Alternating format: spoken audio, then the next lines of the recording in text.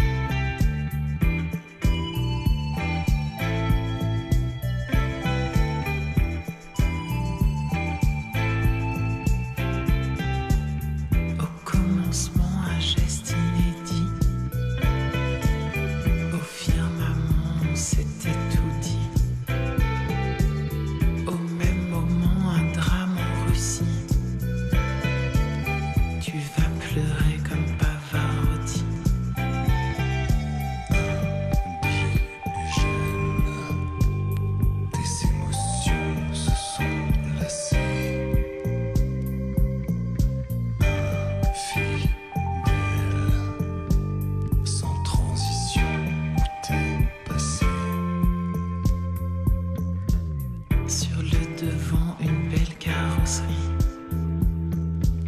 Sur le divan, des pieds indécis. Jusqu'au levant, rien de très précis. Tu vas